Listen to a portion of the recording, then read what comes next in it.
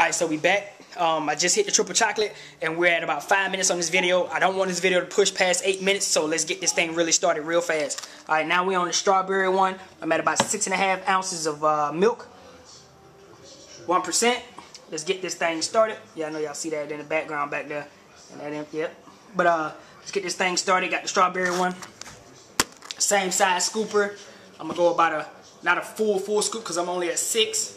So it'll be about right there. Dump that bad boy in. Let's see what we get. It's a strawberry smoothie flavor. Not just a generic strawberry. They put smoothie on this one. So let's see what we get. Alright, so first off, that's enough shaking. Um, the, the, color doesn't turn pinkish. It stays uh, kind of like like a creamish color. Looks like a vanilla actually. But let's have a taste. Let's see what we get. Let's see what we get. Here we go. I had I put water in my mouth and got out of the triple chocolate one. So let's see what this one do.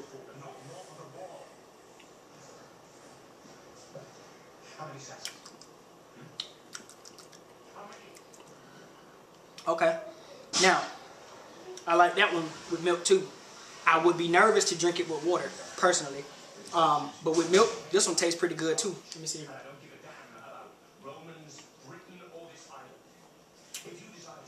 I didn't shake this one up that much, but it's a little foamy.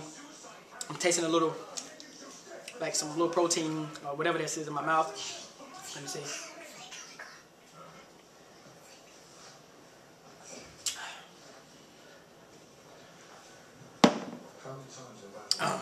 Okay. I like it. If I had to pick between the two, I think the strawberry goes hard. But if I had to pick between the two, let me hold these up so you can see. Triple chocolate. And then we got the strawberry smoothie. If I had to pick, if I was in this grocery store right now, and uh, I saw both of these, I can I can settle for either or. But if I just had to pick, and I because I'm going off of taste right now, if I just had to pick, I would definitely go with the triple chocolate one over the strawberry one. But if I had the money, I would probably just get them both though, because I actually like how the strawberry one tastes. I don't know if you guys are fans of like fruit taste, but this strawberry one tastes, it tastes good. I like it, but you know, you can't never go wrong with a chocolate one. And this triple chocolate one, it does taste good. I actually, I would give this one um, out of taste compared to this one. This one will probably be an 8 and this will probably be a 9.2 or something like that as far as taste. So I would go with this one, but you still can't go wrong with the strawberry one. Um, just to give you guys a quick rundown on the back. I know this is not like a full detailed review because I'm actually uh, going to start taking this today. Um, this is what I'm going to take. I'm just going to rotate between these two. I'm still going to do a taste test of the uh, cookies and cream and the vanilla for you guys and give you my honest taste test opinion. But when it comes down to results and things of that nature, it's going to be between these two. So I'll rotate between these two. Uh, I, am not going to take the MTS. I'm going to save that for later. Um, since it's a five pound, I only took it like two or three times. So I'm going to just leave the MTS and I'm going to go straight to the six star. They gave it to me, want me to do a review, so I'm going to make sure I get the review out for these guys. But I'm going to just give you some, some quick rundowns on the back of what this stuff has in it real quick. Um, just going off the triple chocolate right now. 170 calories, um, 30 grams of protein per scoop, and uh, fat, it says uh, 1.5 grams of fat. Um, carbs, 8 grams. Pretty decent. Okay. Um, ingredients. This is ultra premium whey protein blend. Has uh, whey protein concentrate as the first ingredient. Then whey protein isolate. Then it has some maltodextrin. And then it has an advanced recovery and performance blend. and in that blend, it has uh, creatine monohydrate, taurine, um, L-lysine, um, uh, L-isoleucine, L-valine, and L-glutamine, um, and glycine. Then it has cocoa natural and all that stuff. And it says it has a protein digestive enzymes blend and it contains you know milk and stuff like that. Soy so um, for those guys who who don't like creatine in their proteins then this probably wouldn't be the protein for you. Some guys don't like um, protein I mean creatine in their protein. They like a pure just plain you know protein with nothing else in it besides you know um, the basic stuff to help with recovery. Um, now the creatine in here let me see if it has it it doesn't have it uh, it doesn't have it listed, like as far as broken down, as far as how much creatine per scoop is in here. Uh, let me see.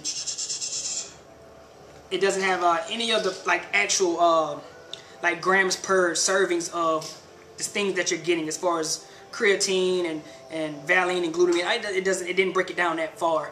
Um, but if I just had to pick, I'm pretty sure uh, the amount of creatine per scoop in here it probably wouldn't give you that, that creatine bloat that people call it.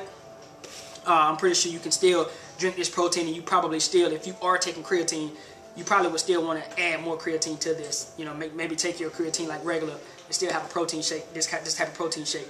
Uh, but that's just a quick rundown on it. Um, like I say, I'm gonna take this for the next maybe two and a half weeks or so. Uh, just I'm just gonna rotate flavors between these two. But the next video will be just two quick taste tests on uh, the cookies and cream and uh, vanilla one. Gonna take these one uh, faithfully, and then I give you guys like my overall review as far as recovery. Did it help me uh, build muscle? Things of that nature. You know, the, the, basic reviews that you would get on the protein because uh, all protein reviews kind of can be the same. I think it just depends on the ingredients that's in that protein, if that makes sense, and what that protein has to offer you as far as macronutrients and things of that nature. So, with that being said, it's been Gym Monsta 81 representing Gym Monsta Fitness. Make sure you like, comment, subscribe. Copy your hoodie if you want. Copy your V-neck if you want. Um, look for me on our Instagram, Twitter, all that good old stuff. And I'm going to the gym later, so I might try to get some footage in the gym depending on what I want to do. I know I'm supposed to hit back, and I'm thinking of trying to hit that 400 today. I'm thinking of trying it one more time today. Uh, but I don't know. I got to see how I feel when I get there. And I might not do deadlifts first this time if I go there and I plan on doing it today. So, with that being said, I'm going to get up out of here.